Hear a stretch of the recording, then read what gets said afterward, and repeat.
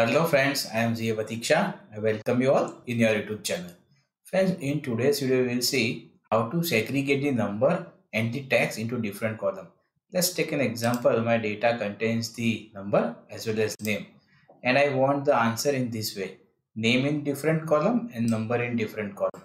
But presume your data will be of 10,000 row. It is not possible to do it manually. So let's start friends. So first I will start with formula of T only. T. I will just write and do the bracket and I will select this and I will close the bracket. I will just press the enter. You will tell sir nothing has happened. What to do? Let's see the magic friends. Now I will drag this formula. Okay. So you will wonder wherever there is a name in the cell, it has come out. Now I want to extract the number. What to do? Then I will apply the formula n. Simply do the bracket. I will select the data. I will just close the bracket. I will press enter. And I will just drag it also. But here you will tell, sir, 0 is coming over here. How to remove this? We will not remove it one by one because my data is in 10,000 row. Then what to do? Here you have to be careful and little bit smart trick. For that I will just click on this file menu. In that last option is there options. I will click on this.